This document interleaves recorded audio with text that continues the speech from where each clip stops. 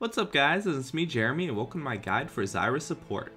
I've been playing her a lot recently and she's a lot of fun to play, and is actually a really strong support champion. In this guide I will assume that you already know what Zyra does. I'll be linking the League of Legends page for Zyra just in case you don't know. Alright, let's go over the pros and cons of Zyra support. Starting with the pros. The first is that she does a lot of damage and has very high range. This makes her one of the best, if not the best, at poking. It gives her a good matchup against pretty much every melee support, since you can just poke them down. Next is that Zyra has a lot of CC. This makes her teamfights very strong and makes her a strong pick overall. Another pro is that she can push the lane very fast, as she can kill the minions fairly well. This makes her very powerful in a tower pushing team comp. The last pro I came up with is that she is an unconventional support, and many players will not know how to play against her. This can make it easy to get kills, but this really just depends on who you're playing against. Now let's move on to the cons. The first con is that she is very squishy. This can make her very risky to play, and you can end up dying, even if you make just a tiny mistake, so knowing your limits is very important. I recommend practicing in some normal games to get a feel for her tankiness. Another con is that she has no sustain. If you trade evenly against a sustained support, you can end up losing trades in the long run, so just be careful in your trades when you play against a sustained poke support. However, you do greatly outrange most sustained poke supports, so you should do fine. The next con is that her plants can push the lane when you poke with them. You just need to be careful with your positioning of the plants when harassing, and this is why you usually want to activate your melee range plants instead of your ranged plants when harassing. The last con I came up with is that all of her skills are skill shots. This makes her kind of hard to play, and it can also make it easy to outplay her. You need to understand that if you miss your skills, your pressure is gone until they are up again. During the laning phase, you want to play very aggressive. Zyra has a lot of range and is a high damage support. Harass with auto attacks early since your range is very high, and after a few levels start to harass with an E, double tap W, and a Q combo for quite a bit of damage. However, since you lose so much pressure if you miss your skills, what you want to try to do is bait your opponents into trying to harass you, and then hit your skills as they run towards you. This will lead to some easy poke, and it will give you a huge advantage in the lane. Just be careful and ward well, as it can be easy to get caught out since you are so squishy. It is somewhat easy for Zyra to catch someone else out though, so don't be afraid to commit to a full fight if you hate your skills. During the teamfight phase, you of course want to use your ult on as many people as possible, and then you should just use your skills to help protect whoever is most fed on your team. There's really no reason to try and kill someone, since you are the support and will just get kited and killed because you don't have enough damage to kill anybody.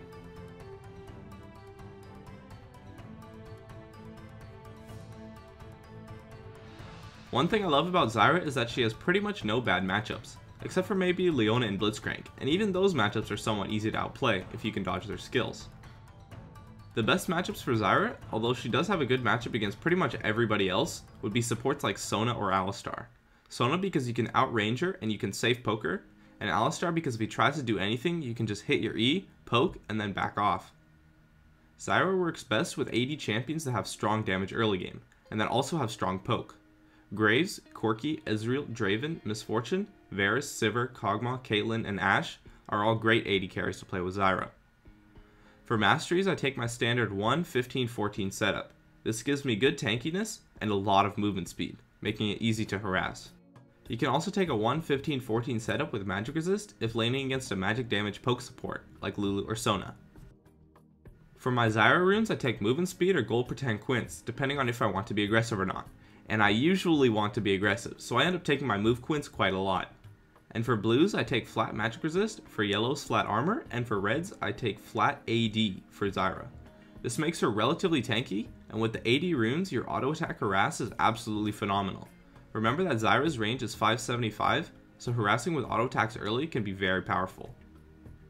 For summoner spells, I take flash and exhaust to help get kills and to kite, and to escape from tough situations.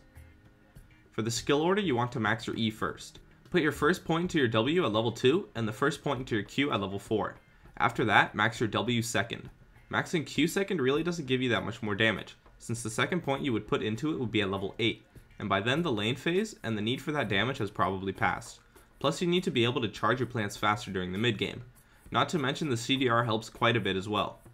And of course, put points into your ultimate whenever available. Lastly, for item builds. I start out with a Fairy Charm, Wards, and Potions. Next I build Boots and Heart of Gold. You need the speed and tankiness to not get caught out because you're so squishy, and Zyra's mana costs are so low that you really don't need any mana regen after the Fairy Charm.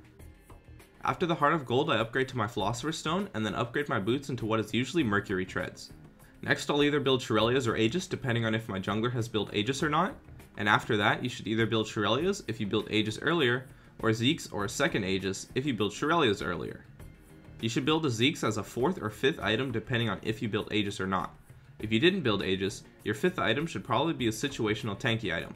For example, Abyssal Scepter if their AP carry is doing well, Frozen Heart if your team needs it, etc. This 5th item will almost never be built though, so you really don't need to worry about it too much. Lastly, upgrade your Heart of Gold into an Iron Locket of Solari, and with a 6 item spot for wards, you should be good to go. You want to think about buying oracles after you have built your first major item, as an oracles is essential for map control and pressure. And as always, don't forget to buy wards. So, thanks for watching my Zyra support guide. I'd love to hear your guys' feedback in the comments. I'll see you guys next time.